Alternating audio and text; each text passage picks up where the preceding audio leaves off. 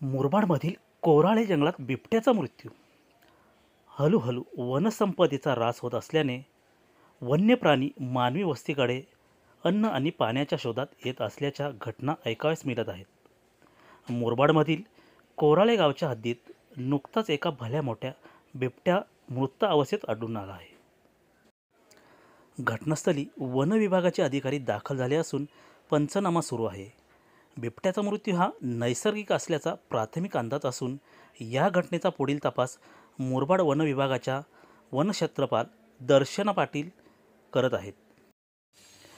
बिबट्या हा अन्न साखलीतील महत्त्वाचा घटक असल्याने त्याचे संवर्धन करणे आवश्यक असल्याचे यावेळी वन्यप्रेमींनी सांगितले.